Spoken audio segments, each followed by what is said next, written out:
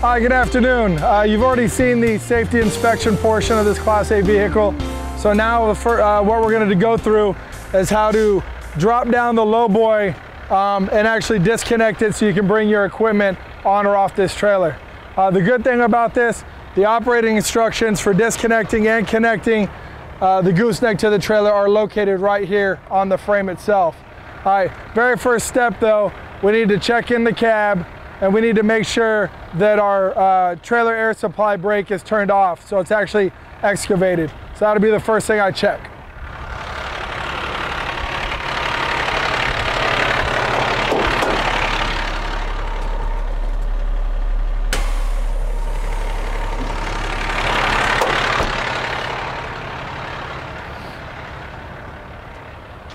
All right, next, I'm gonna disconnect my air and electrical lines.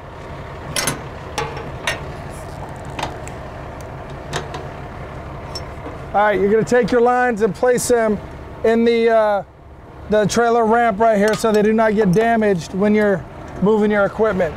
All right, next, and the most, one of the most important things is your safety pin. You gotta pull up on this yellow handle, pull the safety pin out.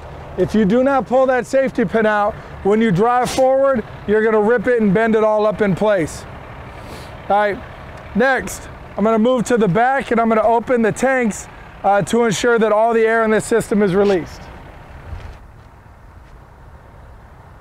All right, first, um, next I'm gonna do is uh, release all the pressure out of my tanks. You can see that we have about 60, uh, 465 PSI. I'm gonna open the handle here, which is to release all the air out of that tank, releasing the pressure from the entire trailer. Now we'll move up to the front and I'm gonna show you how to turn on uh, the PTO pump. All right, if you remember from the in-cab inspection, PTO switch is right here. All you need to do is push up on the switch, make sure the indicator light comes on, and you'll also hear a slight change uh, in the sound of the truck where the, where the pump engaged. Next, we're gonna move back to the, uh, to the control station on the gooseneck. All right, now we're gonna actually move on to the next step. All right, we're gonna grab the neck cylinder switch. It says up, down. We're gonna push that up while holding on to our uh, handle as we're pushing, we're getting it just enough to take the pressure off.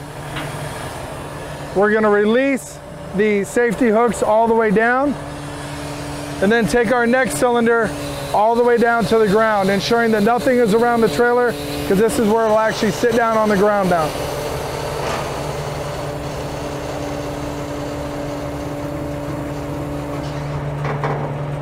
The key with this is to ensure that you release all tension off the gooseneck to the trailer hookup. Uh, by doing that, you're gonna have to mess with the neck cylinder and also the shoring cylinder slightly. Pushing it down to push the truck down to, to ensure we have uh, no tension on that gooseneck at all.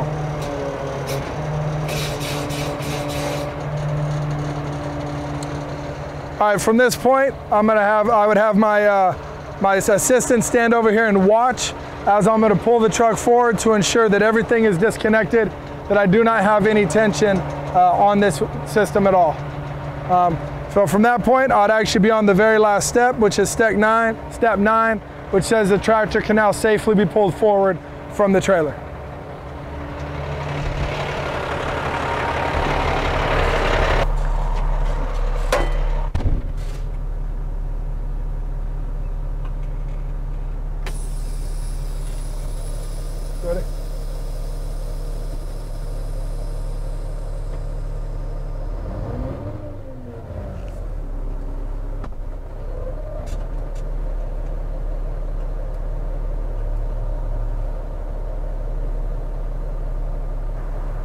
Right, now that we have the tractor disengaged from the trailer, uh, first thing we're gonna do is obviously drop our ramps down. And uh, because we're here to take the vehicle off, to take off our our uh, Bobcat T750.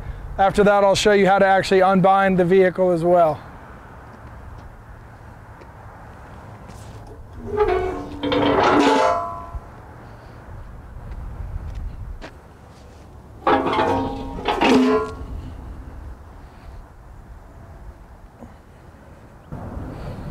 All right, for unbinding, uh, you have your switch. You just need to ensure which way is loosened, which way is tightening. Um, hold on to it, and as you're cranking it, you should notice the binder, which should be opening up, which is loosening up your chains. You're gonna go wide enough that you can uh, safely pull your chain off and unhook the binder from the from the machine.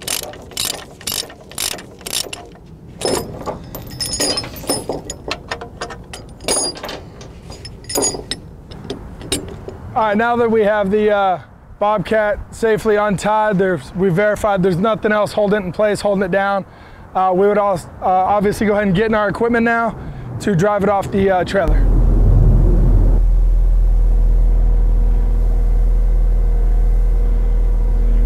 All right, now as I'm driving forward, as I'm driving forward to uh, come off the trailer, I'd want to ensure that I had my safety uh, personnel standing by so that they could uh, ensure that I'm driving nice and straight.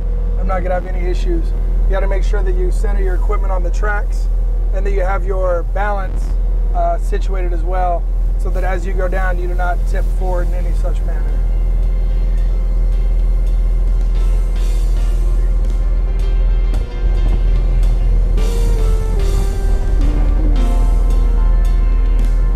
All right, now that we're safely off the trailer, we're gonna pull over to the side and conduct our uh, walk around for this piece of equipment.